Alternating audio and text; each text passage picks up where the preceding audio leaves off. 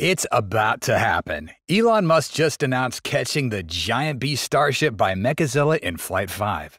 So, how will SpaceX be capturing Starship? Why did Elon decide to catch Starship on Flight 5 rather than another flight? Let's find out in today's episode of Alpha Tech. Surely, since the first time Elon Musk announced the plan to catch the Starship rocket with Mechazilla back in 2021, we've all been very curious about when SpaceX could perform this marvel. And when three orbital test launches have already taken place, we still can't have a definite answer to the anticipation of witnessing the scene of the Starship returning to be cradled by the chopstick arm. However, everything gradually became clear and said on April 7th when Elon personally declared to the world I, I'm pretty confident we will achieve that this year. Accompanied by a simulated video of the mystical return process of the Super Heavy booster. Just before the catch, the booster descended at a standard angle and then approached the chopstick arm with three magnificent exhaust streams. The landing maneuver was breathtaking. Additionally, Elon Musk also affirmed that there's an 80 to 90% chance of successfully recovering the booster. As for the Stage 2 Starship, reusing it'll take longer. SpaceX needs to achieve at least two consecutive successful landings at a specific point in the ocean before attempting to bring it back to the launch site to avoid creating excessive debris. The reason for this difference is that the upper stage of the Starship must survive after re entering the fiery Earth's atmosphere. This vehicle was shattered and engulfed in flames when attempting to return to the atmosphere in a test flight back last month. To expedite these plans, SpaceX has accelerated deployment immediately in the upcoming fourth launch, which could happen in May. Although the fourth flight will reflect the trajectory of the third flight, according to Elon, there is a difference. Instead of aiming for a controlled landing into the sea as in the third launch, the key objectives of Flight 4 will see teams try to land Starship on the ocean as if there were a virtual launch tower present there.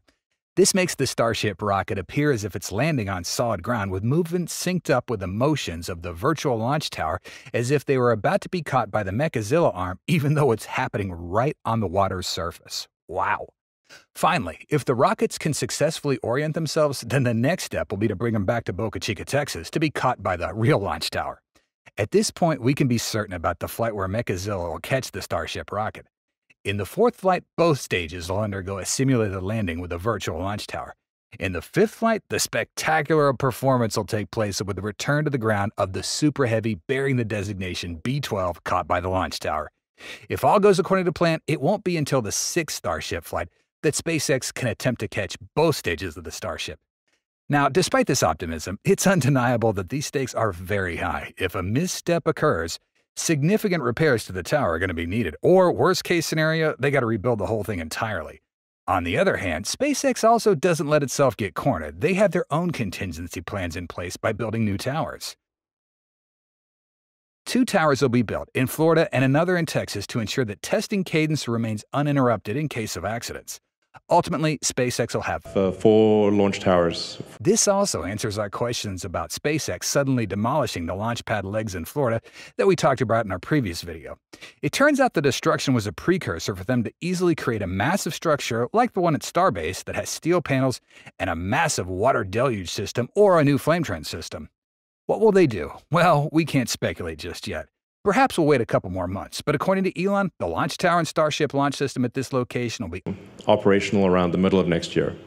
By the end of 2025, they have to plan to have a total of three Starship launch towers to begin supporting operational launches.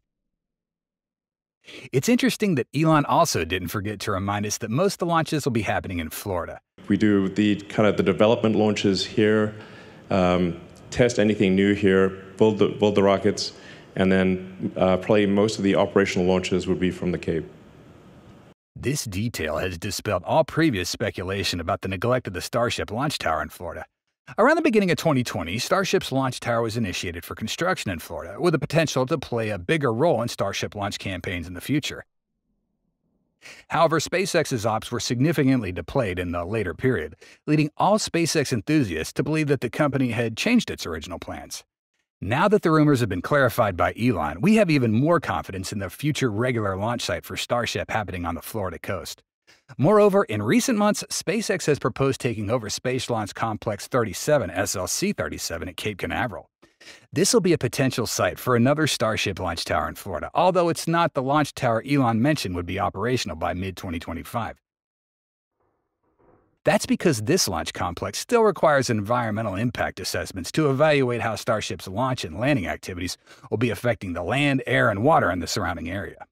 Meanwhile, environmental studies for rocket launch facilities typically take over a year, so it'll be some period of time before any major construction happens to convert SLC 37 for those Starship launches.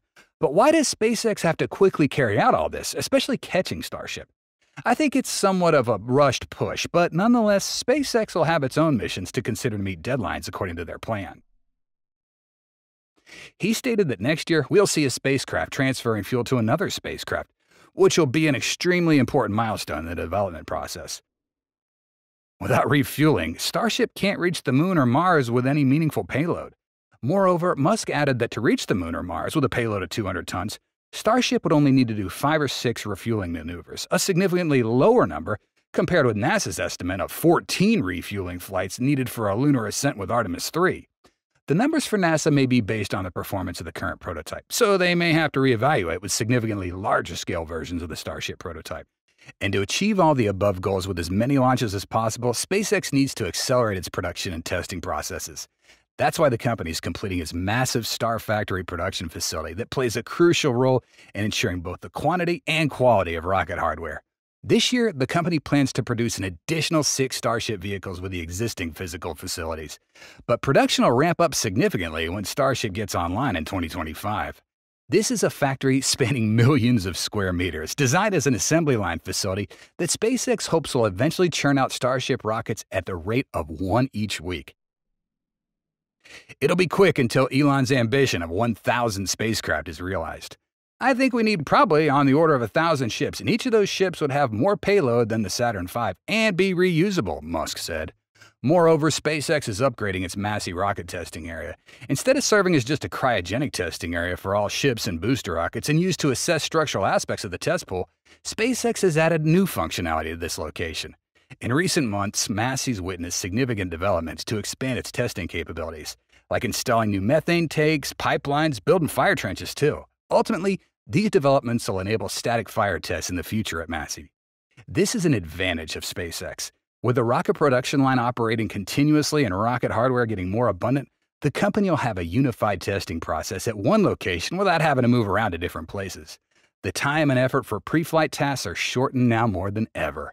In short, with Elon Musk's broad vision, all preparations are geared towards his grand ambition and plans. There will be many more exciting things to come, and there will also be many more plans that we can't predict on SpaceX's journey to conquer space. So be sure to tune into our news each morning to find out more. And that's all for today's episode. Thanks for watching, and hope to see you next time. Bye.